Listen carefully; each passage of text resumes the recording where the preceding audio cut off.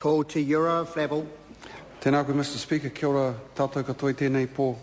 Uh, Mr Speaker, the, the mere fact that we have a split vote in the Māori Party might indicate that uh, obviously there's a degree of support but also uh, an opportunity has arisen through our vote to register some serious issues that we've raised. I can't say that they align with Dr Norman's too much, but certainly there are some concerns uh, nevertheless. Mr Speaker, the Māori Party is on record as having a range of concerns about the impact of free trade agreements. Our major concern is the long-term prosperity of workers and businesses. Uh, we are also concerned about the protection of New Zealand's markets, tariff rates, biosecurity, environmental issues, including uh, climate change and overseas investment. Uh, as has been spoken about, this bill implements a bilateral, bilateral trade agreement, namely the New Zealand-Hong Kong-China Closer Economic Partnership Agreement. Amendments to the tariff will en enable the application of preferential tariff rates to be applied to goods imported from Hong Kong. The New Zealand-Hong Kong Closer Economic Partnership largely mirrors, as Dr Norman um, talked about, New Zealand's prior agreement with China. Mr Speaker, due to liberalising uh, laws, uh, we are concerned, uh, the concern is about businesses and workers, including Māori, and that they may be forced to produce their goods at the lowest cost by taking production offshore. And of course, the logical consequences of taking production offshore is that it will um, is that both results uh, it will result in both uh, job losses at home while also willingly providing New Zealanders with an opportunity as if they needed it uh, to buy overseas goods rather than those made in New Zealand. So where will the impact be most profound? Well, the free trade agreement's greatest negative impact has been on the manufacturing sector with its high Maori and Pacific Island, um, Pacific Island workforce.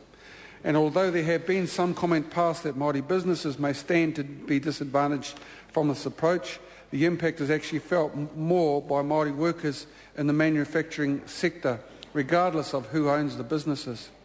So, uh, from what we can work out, the loss of the manufacturing base has only had an impact on those Maori businesses in the manufacturing sector. Two examples I can cite are those located in Opotiki, owned by the Whakatohea, and South Auckland. Uh, the name of the firm is KT Footwear, or um, the, the, person that led uh, that company was Car- uh, Corral uh, Brent um, Edmondson, uh, both of which uh, manufactured footwear. both closed as a result of cheap, cheap imports. So, by far the most enduring legacy will be on the Māori workforce. As at June 2008, 12,000 Māori were unemployed in the agriculture, forestry and fishing primary production area and 29,000 Māori were employed in the manufacturing area. Māori laid off in a factory in New Zealand did not get the jobs in the New Zealand-owned factories which relocates to low-wage Asian economies. Now, we know full well that the, uh, the huge appetite the world has for uh, primary produce in emerging uh, superpower Asian countries like China will not change as a result of the Māori Party uh, voting against this bill, or at least some of us voting against, uh, some of us are voting against this bill. And we also know that there are many Māori businesses looking to advance the promise of prosperity. This is a key uh, object in our policy manifesto, Hea Te Mea Nui, that we will incentivise whānau and family businesses to grow. We want to see Māori businesses develop and also to increase employment but uh, we cannot ignore that in the latest household labour force survey, Māori unemployment is up from 14.2% to 16.4%.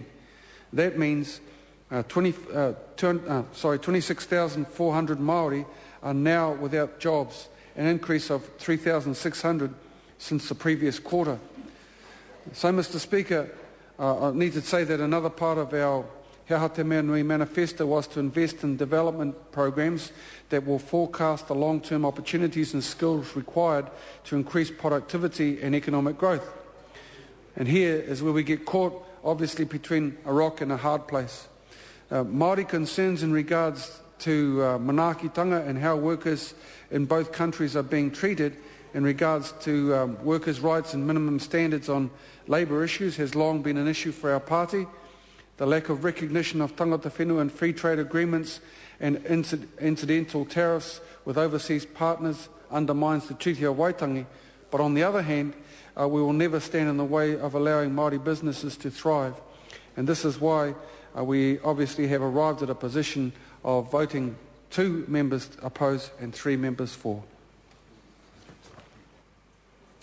Call Jacqui Dean.